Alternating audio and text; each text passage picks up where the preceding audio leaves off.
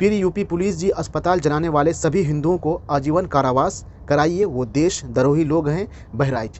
बहराइच में गोपाल मिश्रा की गोली लगकर मौत हो गई है। ये खबर बहुत तेज़ी से चल रही है।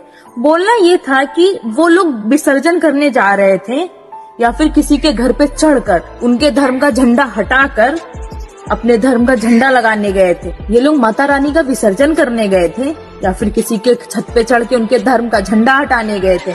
अब कुछ लोग बोलेंगे कि तुम मुस्लिम का सपोर्ट कर रही हो। या हम किसी का भी सपोर्ट नहीं कर रहे हैं। गोपाल मिश्रा की मौत हो गई है, इस बात का दुख मुझे भी है। और उन लोगों ने गोली चलाकर गलत किया है। उस जगह पर पुलिस फोर्स भी थी। पुलिस फोर्स चाहती तो मामले को शांत करवा सकती थी, मगर उन लोगों ने तमाशा देखा। और अब गुस्से में लोगों ने होंडा शोरूम फूक दिया मेडिकल स्टोर फूक दिया, लोगों के घर फूक दिए। और इस सब का जिम्मेदार वहाँ की पुलिस और सत्ता में बैठे लोग हैं, जो हिंदू मुसलमान करवा के राजनीतिक कर रहे हैं और लड़ाई दंगे करवा रहे हैं, फसाद करवा रहे हैं। अस्सलाम वालेकुम रहमतुल्लाहि व बरकातुहू उम्मीद करता हूँ आप सभी खैरियत से होंगे। अभी आप जो सुन रहे थे दोस्तों, ये जो हिंदू बहन बोल रही थी, बिल्कुल सही बोल रही थी, उसके बाद राजनीतिक विश्लेषक निशांत वर्मा जी ने जो बात कहा है ना, वो भी बिल्कुल गौर करने वाली बात है। उनका कहना है कि दंगे में अस्पताल जलाना, ये तो हम हिंदुओं को ना धर्म सिखाता है, ना समाज।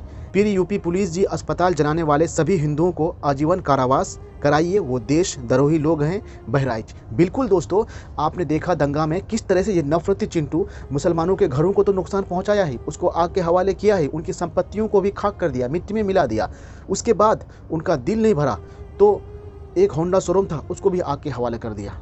उसके बाद तो बात छोड़िए। अस्पताल में ये बात जो कहा है निशांत वर्मा जी ने, बिल्कुल दोस्तों, मैं इनको सैल्यूट करता हूँ हक और सच बोलने के लिए और यही होना चाहिए, हक और सच सच बोलने के लिए इंसान को पीछे नहीं हटना चाहिए, चाहे कोई भी हो जाए और हमारा इस्लाम मज़हब भी यही सिखाता है कि हक बोलने के लिए अगर आपका भाई गलत है तो उसके खिलाफ भी आप खड़ा हो जाइए। यहाँ पर देखिए किस तरह से अस्पताल को नुकसान पहुँचाया। अस्पताल में आग लगा दी, उनको जला करके खाक कर दिया। इन नफरती चिंटों ने, इनको मुसलमानों से इतनी नफरत है, ये मुसलमान नाम से कुछ देखना नहीं चाहते इस देश में दोस्तों।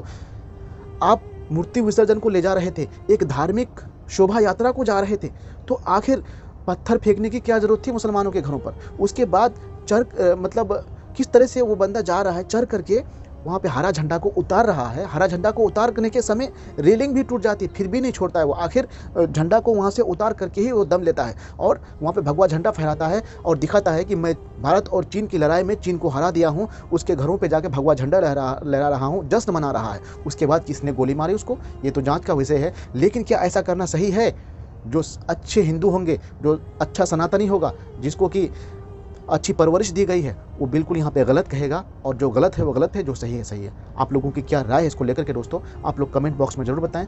वीडियो को शेयर करें, लाइक करें, हमारे चैनल पर नए तो चैनल को सब्सक्राइब करें। बहुत बहुत शुक्रिया और देखने के लिए।